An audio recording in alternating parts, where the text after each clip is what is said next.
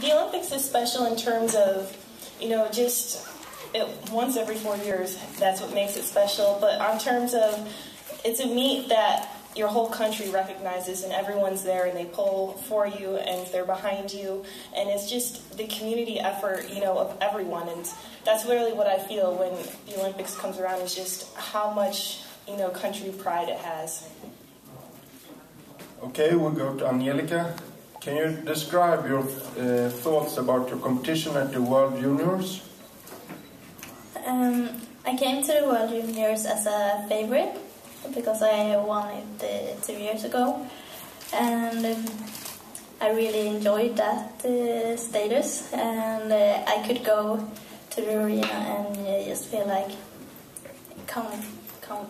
I knew that I would win, and uh, to win uh, and also jump kind of high. Um, yeah, I was really happy about that. Okay, thank you. What about this special evening in London? Can you describe your feelings uh, around the competition, the great final in London? Jennifer? Yes, in London, you know, there is so much training going into it that when you train for it, you train and, you know, you don't really feel anything. You just have one goal and, you know, one thing on your mind. So after the win and after it was over, it was just a huge rush of emotions and it was relief, it was excitement, it was you know, pride. It was everything all at once. And I think that's why it was so emotional was just, you know, you train for this moment and now it happens and it happens the way that you dreamed of. And that's why, I mean, it's something that you can never experience. Like, I can't even describe what I felt, but it was, I mean, it's going to be with me forever. Okay, and then Angelica, what did you learn from your competing at the European Championships and the Olympic Games? Yeah, I competed against the seniors, um, which is always a good lesson for me. Um, I learned that it's like you normal competition. That I learned how to stay warm between the jumps, which I had uh, a hard hard time doing because I, when I jump with the juniors, I usually jump alone and I do it in training also. But I think I, I handle the, the rest now and I think I, I know what to do now. Okay, thank you. Uh, Jennifer, what are the reasons for your great results this year? I think, you know, being healthy is one of them, going into the meets healthy, and I had a good, solid training going into it. And, you know, right now, technically, I'm jumping, you know, well, and when you can line up that with a meet, that's, you're going to get good results. Uh, Angelica, you have a new coach, Mr. Mieder Salar, former pole vaulter. Can you describe your cooperation, how it works? I'm moving to uh, Karlskrona now from Växjö to, uh, to train with him, and uh, it works fine. He's in the radio at the same time as my meet, but I have a cooperation with uh, Jesper Fritz also, so which works fine too. He helped me at the Olympics and uh, at the Junior Championships also. So, and I have we're starting a cooperation with uh, Lavillenie's coach also, Damien, and uh, it works fine. Yeah. Okay, uh, Jennifer, what do you want to achieve in Stockholm at DN-Galan at this special Olympic stadium? You know, each meet I try to uh, treat it the same, and you know it was the same as the Olympics as it's going to be for this one. I really focused on my opening bar and making that, and then it's the next bar after that. So you know I really go into a meet, you know, from the grassroots and think, you know, very simply, and then try to execute that, and then I try to climb the ladder. So, I mean, to say what I'm hoping for, I'm hoping for, you know, a good result, but I have to start at opening heights. Okay, and what do you think about the competition tomorrow, Angelica? I hope um, that it will be good conditions, and um, I feel in a good shape, just like I did at the Olympics also. So I hope to jump as I as I want to and uh, set a personal record. Okay, uh, Jennifer, here we have the queen of pole vault, uh, you, and uh, maybe crown princess, Angelica. Uh, what do you think about this world junior champion, Angelica? Do you have any special advice to give for the future? No, I think you asked a perfect question to her about the experience of it, and you know, she said something that I remember going through myself, and she's used to jumping alone because she's jumping so much higher in the competitions. But when you start jumping, you have to compete with other people. There is a downtime. You learn to stay warm and how to, you know, make bars after you've been sitting for anywhere from 10 to 20 minutes. So, you know, she's absolutely right that she's taking, you know, every experience she has and learning from it. And, you know, the Olympics is one of them. And now that she has that under her, I mean, the other meets that she's going to be at are going to seem so much easier. And, you know, she's on the right track. Every time I see her jumping, she's getting better and better. So, you know, she's got a good future. Uh, what about the future, Angelica? What are your plans for the next years? It's the World Championships next year in Moscow. I'm looking uh, forward to that, and um, and uh, of course the Olympics in Rio. It has always been my main goal, uh, and uh, it's the indoor European Championships in uh, Gothenburg. Looking forward to that also. So uh, I, I love the big meets and uh, looking forward to them. Okay, thank you very much. Any questions from the floor? Jennifer, you had uh, a fairly long career now, but many times you have been sidelined by injuries. And uh, ha have you ever thought about, oh, I give it up because another setback, or have you always thought positively about the future?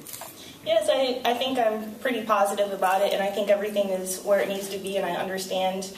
Um, you know, when you first start out, you don't really know the injuries associated with pole vaulting or how that happens, but through time you, you understand that and how to train, you know, correctly and balance everything out, and that's where I'm at right now, is I know how to balance everything out. So, you know, I've never been to the point that I thought of giving up or quitting. It just makes me angry and want to train harder. Yes, please. Ben, now, congratulations on your gold medal. It's fun watching you. Now that you got that out of the way, are you going to go after a new American record? Are you looking for some high jumps the rest of the season? What are your goals?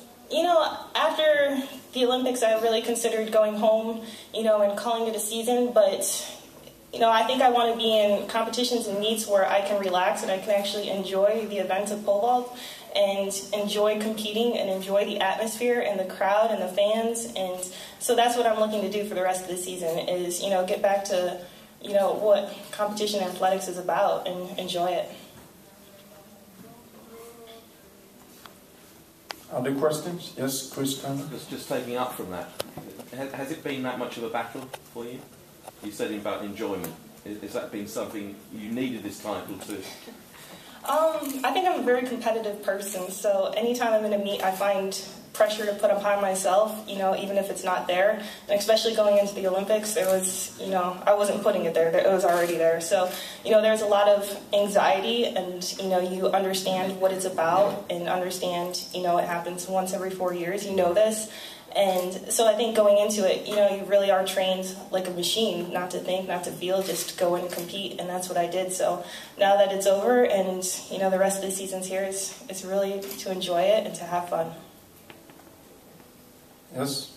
Jennifer, when you're thinking back, when you started out pole vaulting, did you ever then yourself think, oh, I will become the Olympic champion sometime in the future? Because you started out quite late compared to Angelica, who started out when she was very young. You, you already had your, your college career behind you. I did. I played four years of basketball. I was 22 when I started vaulting.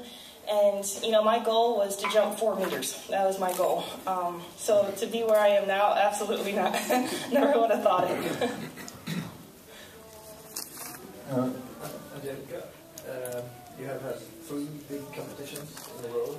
How do you uh, refocus, reload? How do you manage to keep it up? Oh, I, I take every day in, in as a day come, and um, every competition of uh, those three have, has been different because in the junior championships I I came there I was the best and it's I were there to to just enjoy the gold medal. And at the junior championships, I came and I thought I had a shot, a, shot to to make a good result and uh, make a good. Okay, came to the finals and and uh, make good competition by the seniors. And to the Olympics, I had no chance. so it was different uh, in every meet, so it wasn't hard to focus or something. Yeah. But now the, the Diamond League isn't that Lahal Lahal? No, no, no. no, I love these uh, these meets where when we are few jumpers and uh, you you can you really have the space to make a good result with the crowd and yeah, I really enjoyed it, these competitions. Lorenzo? Jan, this is your first Diamond League meets this summer, even the first meets outside US besides the Olympics, of course. Is that according to your original plan, or is it because of injuries in the spring, or could you tell us about how you thought of the season from the beginning? Yes, there was an injury in the spring that was just a random injury, and so we felt best, you know, to train for the U.S. Olympic trials. And that's why we decided to take the Diamond Leagues off, was to train for that and to make sure we were 100%. And now you are 100%, of course. hmm Yes. Yes, L'Équipe?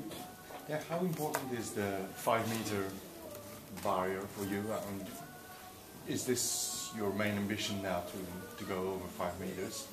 Yeah, I think, you know, my personal best is 492, so 493 is an ambition, 494. so it goes up from there, and, you know, that's really what I do in practice. I try to climb the ladder, and that's what I want to do in meets, and that's what we just try to go height by height before we start, you know, putting, you know, a glamour on one height. We try to just get through a bunch before we get there. That's not the ultimate. The, the ultimate, yeah, the, I mean, the ultimate might be higher than that, but I usually don't share too much of those. Oh yes? Jen, when you pick a height like for a world championship or an Olympic championship, how do you and your coach do that? A lot of the height, you know, it depends on a lot of things, how warm up goes, how I'm jumping. It depends on the field size. You know, some heights you can come in at where the field's going to be smaller, so then you get more reps at a height. So if you miss, you can get up sooner and jump where you don't have to stay warm so long. Um, and it depends, you know, really what my goals are in that meet, what to go for. Sometimes you'll come in big if you want a high result. And, you know, so it all depends. But we really try to decide on warm ups, you know, how warm ups went to what height to come in at. Were you surprised by Silva um, in, the, in London? Actually, I wasn't. Um, I think if you look at her results over the past, you know, couple months or even the season, she's been climbing up there, and so no, I was not surprised by her result at all. Okay.